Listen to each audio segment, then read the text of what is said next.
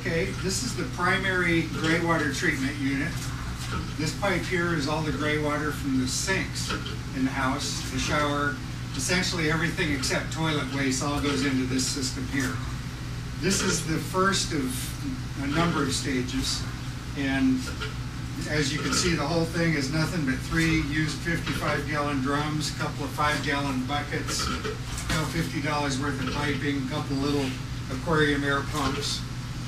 And what it's doing is, this tank here is, I call it uh, flow equalizer. Basically, the idea is when you have a whole lot of, you know, like say when the washing machine dumps, it's going to just hit it with a big surge, and if you have any sludge settled out, it'll disturb it. So what this does is, what you hear burping here, is uh, it's a little surge pump. And what it does is runs all the time very slowly to very slowly drop the level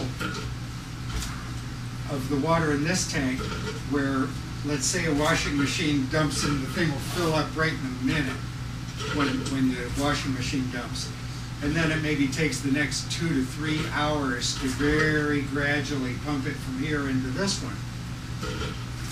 Since it's so slow, what this one's for is to let the sludge accumulate in the bottom without disturbing it. And then this has um, another little five gallon bucket. It's kind of cut and fitted into a hole in the top. This is just a little aquarium air pump.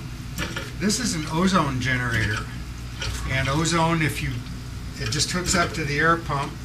You pump air through it. It passes a, actually a little corona discharge, you know, like, like lightning in nature that produces ozone. And then this hose bubbles that through the water, and that's a sterilizer. Ozone kills bacteria.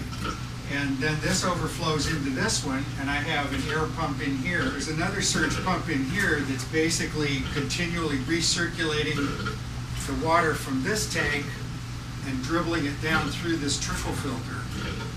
Now, what a trickle filter is, is, is a lot of surface area for bacterial colonization. I, I can pull this off to where you can see what, what it is. This is a surge pump, it's spraying water. Now, what you're looking at there is furnace filter material from Walmart, just rolled up in a, in a roll and put into five gallon bucket. So the whole thing just lifts off of here, it's easily maintainable. You can take the whole thing off, none of this pipe is glued, it just pulls apart. You can take this thing out and hose it down. And the way this surge pump works is kind of like a, a percolator, coffee percolator, except instead of using boiling water on, at the bottom, you use a little air hose down in the pipe. So the bubbles will force the water up out the top.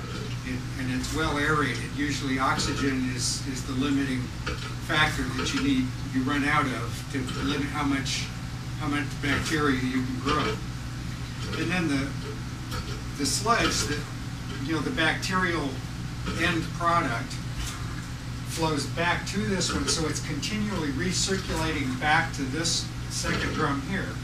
So this is kind of where the sludge accumulates. And then this has a pump in it with a float switch, and then this pumps, this hose here, this pumps up to the, the wetlands in the pond up above. And the whole thing only uses like six watts of electricity for, one of these little air pumps.